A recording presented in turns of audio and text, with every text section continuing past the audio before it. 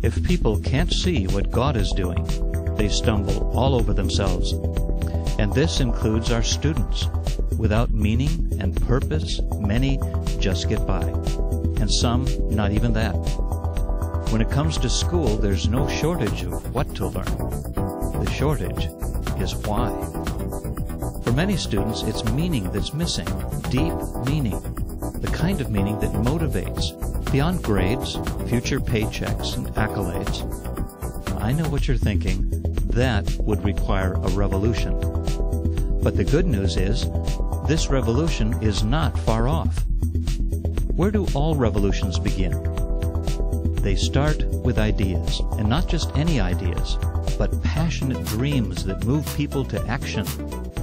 In 1517, Martin Luther nailed his dream to a church door and started a revolution that changed history. Justification by faith and the priesthood of all believers. They struck chords that still resound around the globe. But Luther's revolutionary theology of work has faded. Luther denounced the sacred secular divide that elevated the work of clergy to God's work and relegated the work of milkmaids to something less. He declared that milking cows is God's work too. Calvin carried Luther's teaching on work even further. By God's grace, Calvin turned Geneva, then called the smelliest city of Europe, into a model city by helping the citizens to see that work in all spheres of society, whether civil or economic or domestic, is God's work. Puritans carried the Protestant work ethic to the New World, where it fueled the development of a nation with the idea that a man's shop and his chapel are both holy ground.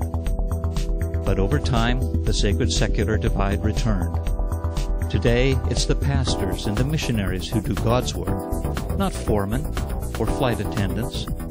We've quit believing that God does His work through carpenters, cops, and CEOs. Here's the big question. Do our students see their shop as holy ground? Their shop is the classroom and the home where they wash dishes and feed the dog Yet how many see this work as the work of God? And how many of our students aspire to do God's work tomorrow as urban developers and homemakers? Do our students know that they were created with a purpose in mind when God said, Let them rule over all the earth? Do our students see their work as something God wants done, ruling over electricity, sound waves, and language computers, wind, ruling over money and muscles, as well as ideas. Imagine what would happen to any nation where citizens engaged in their work, whether artisan or doctor or geek, as the very work of God. What if the office were a place to apply one's faith?